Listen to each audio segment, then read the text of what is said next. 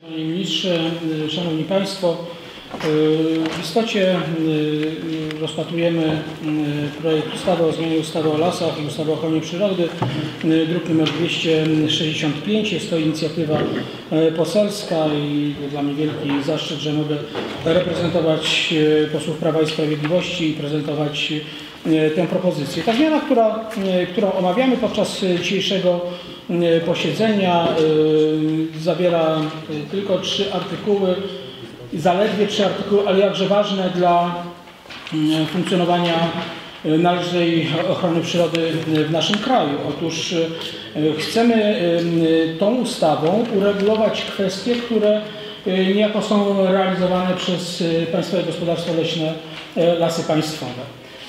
Ale tym, o tym za chwilę. Y, Sprawa tyczy y, parków narodowych. Y, 23 instytucji i form najwyższej ochrony przyrody w naszym kraju. Jak Państwo wiecie, parki narodowe od wielu lat borykają się z olbrzymimi, borykają się z problemami finansowymi.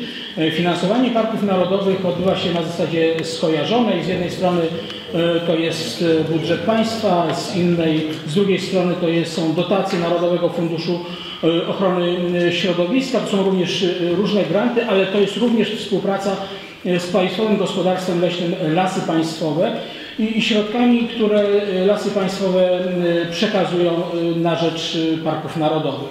Chcemy y, y, tymi y, przepisami, które Państwu proponujemy, uregulować te kwestie i chcemy, żeby ta niebagatelna kwota, która z Funduszu Leśnego Lasów Państwowych jest przekazywana do parków narodowych, niebagatelna, bo to jest kwota rzędu około y, 70 milionów złotych rocznie, była niejako na stałe y, zapisana, a y, środki te finansowe były wprost między innymi kierowane na przygotowywanie czy na możliwość wykupu gruntów, na również prowadzoną tą gospodarkę wprost leśną, która jest prowadzona na terenie parków y, narodowych. Te szczegóły, szczegółowe uzasadnienia Państwo znajdziecie w uzasadnieniu do projektu, do projektu ustawy. Mam nadzieję, że to jest zmiana, która nie budzi żadnych kontrowersji, która na pewno posłuży do poprawy kondycji finansowej parków narodowych, posłuży również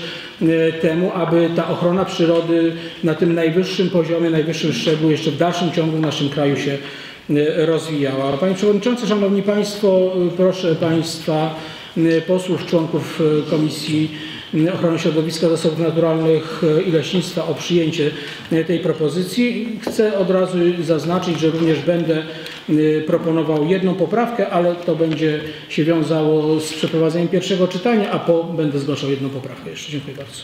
To będzie ochrona przyrody realizowana metodami gospodarki leśnej i nawet powiem więcej, to się pięknie wpisuje do zarządzenia dyrektora generalnego, jest jakby tabela tych działań technicznych, które są tożsame z gospodarką leśną, a dyrektorzy parku będą mówić, ja tą metodą będę prowadził ochronę przyrody. I już wtedy nie ma żadnych wątpliwości, e, że tak powiem, interpretacji.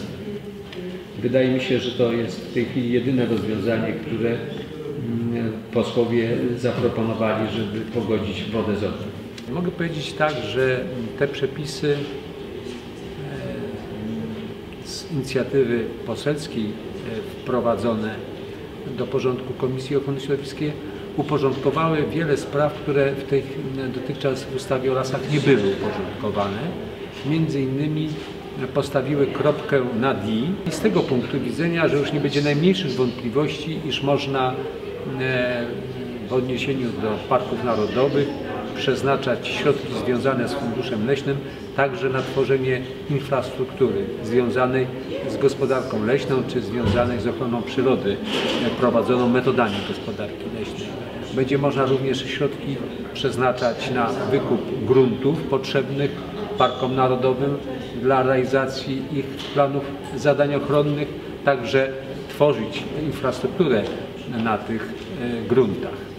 E, W końcu będzie można prowadzić, e, i to też jest wartość e, z dzisiejszych prac Komisji Sejmowej, prowadzić sensu stricte ochronę przyrody właśnie metodą gospodarki leśnej, bo dotychczas w przepisach był to jasny, niejasny przepis.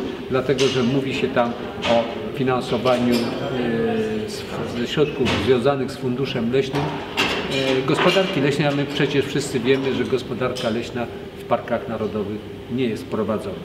Przy okazji e, zauważyłem, że posłowie wnieśli bardzo dobre poprawki, e, również stawiające kropkę nad i. Mianowicie teraz będzie można wyrównywać e, niedobory finansowe powstające nie tylko przy prowadzeniu gospodarki leśnej, ale także powstające przy ponoszeniu kosztów przez nadleśnictwa na wspomaganie administracji publicznej.